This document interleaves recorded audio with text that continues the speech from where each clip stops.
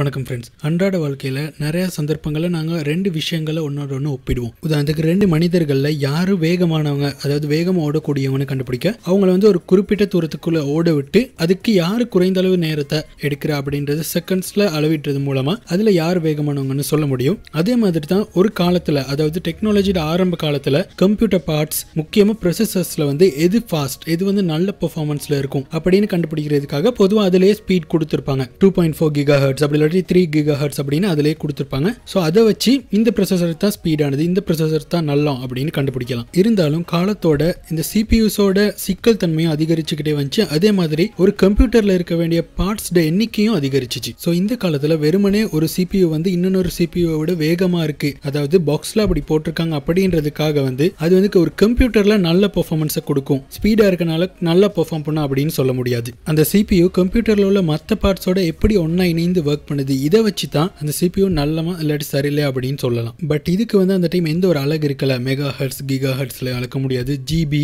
அந்த மாதிரி எந்த ஒரு சைஸை வச்சோ இதை வந்து அளக்க முடியாது இந்த பெர்ஃபார்மன்ஸை ஸோ இதுக்காக தான் பெஞ்ச் மார்க் அப்படின்ற ஒரு விஷயத்தை உருவாக்குறாங்க. பட் இதே மாதிரியான இந்த பெஞ்ச் மார்க்கிங் ப்ராசஸ் வந்து வேறு வேறு நிறைய ஃபீல்ட்ஸில் இருக்குது பிஸ்னஸில் எல்லாமும் இருக்குது பட் இருந்தாலும் நாங்கள் இங்கே வந்து இந்த ஐடி ஃபீல்டில் உள்ள பெஞ்ச் மார்க் பெஞ்ச் மார்க்கிங் அதை பற்றி தான் பார்க்குறோம் ஸோ பெஞ்ச் மார்க்கிங்னு என்னன்னா கம்ப்யூட்டருக்கு ஒரு குறிப்பிட்ட அளவான டாஸ்க்ஸ் அதாவது சாதாரண யூஸோட கொஞ்சம் அதிகமாக கொஞ்சம் ஹெவியான ஒர்க்லோட கொடுத்து அது வந்து எப்படி பெர்ஃபார்ம் பண்ணுது எவ்வளோ குயிக்காக அதை ஃபினிஷ் பண்ணுது அதை வச்சு அதுக்கு வந்து ஒரு ஸ்கோர் ஒன்று கொடுப்பாங்க. இப்போ வந்து இந்த சிஸ்டம்ஸ் அப்படியே சுருக்கி சாஃப்ட்வேர்ஸாகவும் ஆப்ஸாகவும் ரிலீஸ் பண்ணியிருக்காங்க. ஸோ நீங்களும் வேணால் அதை டவுன்லோட் பண்ணி உங்களோட பிசிட இல்லாட்டி உங்களோட மொபைல் ஃபோனோட பெஞ்ச் மார்க் ஸ்கோர் என்ன அப்படின்னு கண்டுபிடிக்கலாம். பட் இந்த பெஞ்ச் மார்க் ஸ்கோருக்கு ஒரு சர்வதேச அளவில் அதாவது ஒரு நூறு மீட்டர் ரேஸ்னா கண்டிப்பாக அந்த டைமை வந்து செகண்ட்ஸில் தான் அளவிடுவாங்க. பட் இங்கே வந்து அப்படி இல்லை. நீங்கள் எந்த ஆப் யூஸ் பண்ணுறீங்களோ இல்லாட்டி எந்த சாஃப்ட்வேர் யூஸ் பண்ணுறீங்களோ அதுக்குன்னு தனியான ஒரு பெஞ்ச் மார்க் ஸ்கோர் இருக்கும். சப்போஸ் நீங்கள் ரெண்டு ஃபோன்ஸை வந்து கம்பேர் பண்ணணும்னா அந்த ரெண்டு ஃபோன்லையுமே வந்து ஒரே பெஞ்ச் மார்க் ஆப்பை இன்ஸ்டால் பண்ணி தான் வந்து அந்த பெஞ்ச் மார்க் ஸ்கோரை கண்டுபிடிக்கணும். ஏன்னா ஒவ்வொரு பெஞ்ச் மார்க் ஆப்லையும் அதுக்குன்னு தனியான ஒரு ஸ்கோர் சிஸ்டம் தான் இருக்கும். ஸோ நீங்கள் ஒரே ஃபோனில் ரெண்டு வேறு வேறு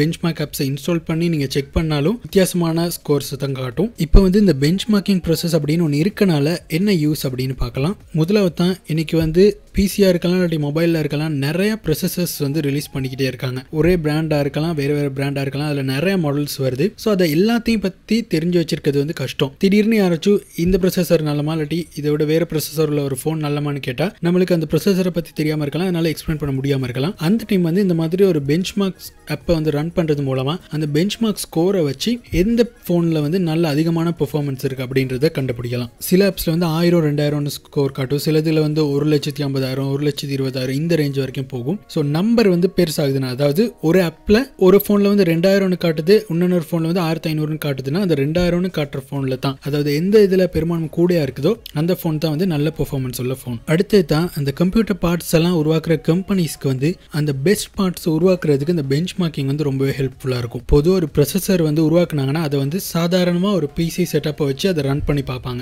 அந்த டைம் வந்து அதோட பெஞ்ச் மார்க் ஸ்கோர் எவ்வளோ இருக்குது அப்படின்றத குறித்து வச்சுக்கிறோங்க அதுக்கு பிறகு ரேம் சைஸை இன்க்ரீஸ் பண்ணி எப்படி பெர்ஃபார்மன்ஸ் மாறுதுன்னு பார்ப்பாங்க. அதே மாதிரி ரேம்ட ஸ்பீடை இன்க்ரீஸ் பண்ணி எப்படி பெர்ஃபார்மன்ஸ் மாறுதுன்னு பார்ப்பாங்க. இதே மாதிரி ஒவ்வொரு கம்ப்யூட்டர் பார்ட்ஸ்லையும் சேஞ்சஸை உருவாக்கி உருவாக்கி அது வந்து இந்த சிபியோட பெர்ஃபார்மன்ஸை வந்து எப்படி பாதிக்குது அப்படின்னு கண்டுபிடிச்சி அது மூலமாக எப்படி பெஸ்ட் சிபியூ பெர்ஃபார்மன்ஸ் எடுக்கலாம் அப்படின்றத டிசைட் பண்ணி அதுக்கேற்ற மாதிரி பிசிஸாக இருக்கலாம் பிசி பார்ட்ஸாக இருக்கலாம் சிபியூஸாக இருக்கலாம் அதை வந்து உருவாக்குவாங்க. இதே வந்து நாங்களும் ஒரு கம்ப்யூட்டர் பில்ட் பண்ணுற நேரம் செய்யலாம். இதை தான் வந்து பெஞ்ச் மார்க்கிங் பிசின்னு சொல்லுவாங்க. அடுத்து தான் இந்த பெஞ்ச் மார்க்கிங்கிறது வந்து கம்ப்யூட்டர் ஹார்ட்வேருக்கு மட்டும் இல்லை சாஃப்ட்வேர்ஸ்க்கும் வருது. ஒரு ப்ரோக்ராம் வந்து எவ்வளோ ஸ்மூத்தாக ரன் ஆகுது எந்தெந்த கம்ப்யூட்டரில் எப்படி எப்படி ரன் ஆகுது அப்படின்றத டிசைட் பண்ணுறதுக்கு வந்து இந்த பெஞ்ச் மார்க்கிங் ஸ்கோர்ஸை யூஸ் பண்ணுவாங்க. பட் இருந்தாலும் நீங்கள் வந்து ஒரு டிவைஸ் வாங்குற நேரம் இந்த பெஞ்ச் மார்க் ஸ்கோர்ஸ் மட்டுமே கருத்தில் கொண்டு வாங்கக்கூடாது. ஏன்னா அதில் வந்து நிறைய ஃப்ளாஸும் இருக்குது உதாரணத்துக்கு ஒரு பெஞ்ச் மார்க் ஆப் கொடுக்குற அந்த டாஸ்க்ஸ் வந்து நீங்கள் செய்ய போகிற டாஸ்க்ஸை விட ஈஸியானதாக இருக்கலாம். அதனால சில வேளை நீங்கள் பெஞ்ச் மார்க் ஸ்கோரை பார்த்து ஃபோனை வாங்கின பிறகும் சில கேம்ஸ் வந்து அதில் ரன் ஆக முடியாமல் இருக்கலாம். அதே மாதிரி தான் சில ஹார்ட்வேர் மேனுஃபேக்சர்ஸ் வந்து இந்த பெஞ்ச் மார்க் ஆப்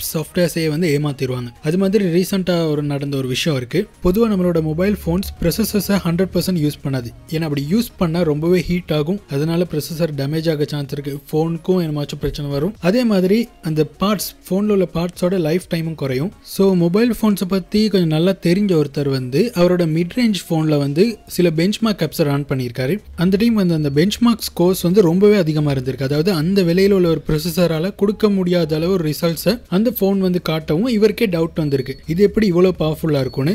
ஸோ இவர் அந்த ப்ரொசஸரோட ஃபேம் வேற செக் பண்ணி பார்க்குற நேரம் தான் அதில் வந்து ஒரு எக்ஸ்ட்ரா கோடை பார்க்குறாரு. அது என்னன்னா ஒவ்வொரு முறையும் ஒரு பெஞ்ச் மார்க் ஆப் வந்து ஃபோனில் ரன் ஆகிற நேரம் இந்த ப்ரொசஸர் வந்து ஆட்டோமேட்டிக்காகவே ஹண்ட்ரட் பர்சன்ட் யூசேஜை கொடுக்குது. அதாவது அந்த பெஞ்ச் மார்க் ஆப்ஸ் யூஸ் பண்ணுற நேரம் மட்டும் ப்ரொசஸரோட பவர் வந்து அதிகமாகுது. ஸோ இது வந்து கிளியராகவே யூசர்ஸை ஏமாத்துறதுக்காக செஞ்ச ஒரு வேலை தான். ஏன்னா இதே வந்து நீங்கள் ஒரு கேமோ இல்லாட்டி வேறு ஏதாச்சும் ஒரு ஆப் ஒன்று யூஸ் பண்ணுற நேரம் அவ்வளோ பவரை வந்து இந்த ப்ரொசஸரால் கொடுக்க முடியாது.